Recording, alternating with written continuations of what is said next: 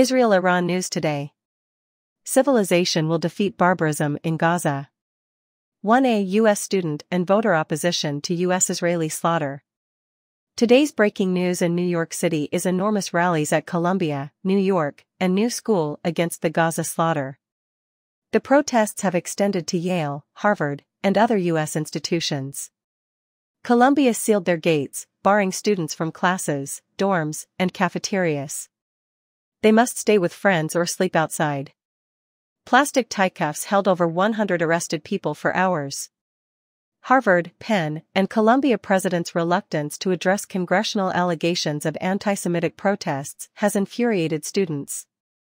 One billboard on TV indicates what Republican pro-Israel Congresswoman Stefanik said, opposing Gazan massacre is anti-Semitic. These congressional hearings include legislators soliciting AIPAC funding to raise the Israeli flag. The biggest scandal since the McCarthy hearings in the 1950s that dismissed numerous actors, intellectuals, professors, and government employees was this one. All three university presidents apologized for letting students support the UN and ICJ. No one remarked, I'm glad that our students are standing up for what's fair and supporting the UN and international law. This illustrates how moral and determined students are to resisting unfair one-sided bombardment of a population as part of Zionist ethnic cleansing to fabricate a Holocaust. Neither university president said this. Their cowardice indicated they prioritized endowment benefactors over pupils.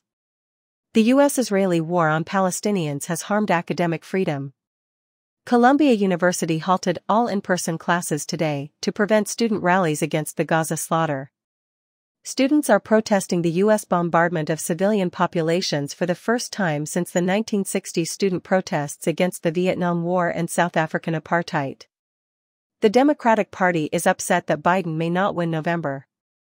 In the 1960s, President Lyndon Johnson had to sneak out a side door to avoid mobs asking, LBJ, LBJ, how many kids did you kill today? President Biden is experiencing that. From Israel to Ukraine, crowds shout, Bomber Joe has got to go. Younger voters abhor his war on the Palestinians and last Ukrainians. Many Americans refuse to vote Democratic or Republican. Leading third-party candidates Jill Stein and RFK Jr. are gaining momentum. Jill Stein is the sole anti-war candidate, which is surprising. Just as Zelensky has cancelled elections and banned other parties in Ukraine, the Democratic Party is trying to keep her and other rivals off the ballot opposition to the Democrat and Republican neocon deep state risks a Biden-Trump impasse. If neither major party candidate receives over 50% of the vote, November's election will likely go to the House of Representatives. Third-party electors can negotiate arrangements, like European parliamentary states.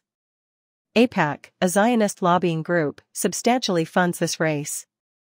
While they call Netanyahu and Israel critics anti-Semitic, he says Jewish liberals manufactured the public relations crisis.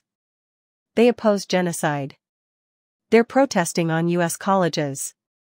Colleges punish Gaza sympathizers like they seek to destroy Israel.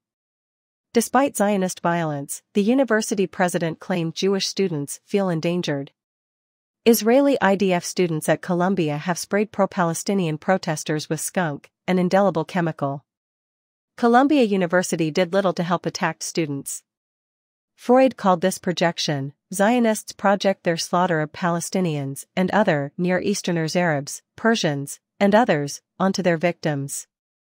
Zionists argue that to criticize Israel is to be anti-Semitic against the majority of Jews who have been absorbed during the past 75 years.